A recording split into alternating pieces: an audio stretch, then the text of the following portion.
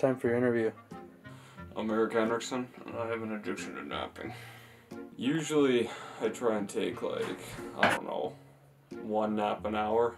When I quit my job to become a full-time napper, I started looking for sponsors, so if anyone who sees this wants to sponsor me, feel free. I used to have five dogs, all dead now. I'm not the best pet owner. It's hard being an owner of a dog when you're a full-time napper. A job.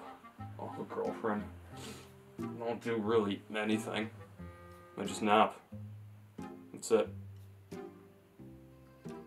I've developed this habit of falling asleep in really inconvenient places.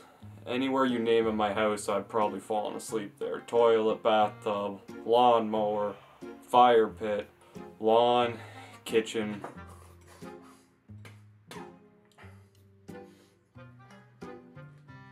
Driving, barn, forest, some abandoned shed out in the forest, everywhere. Worst one by far was definitely on the road on the way to pick up my mail. That could have caused a serious accident. I'm pretty proud of that one, honestly.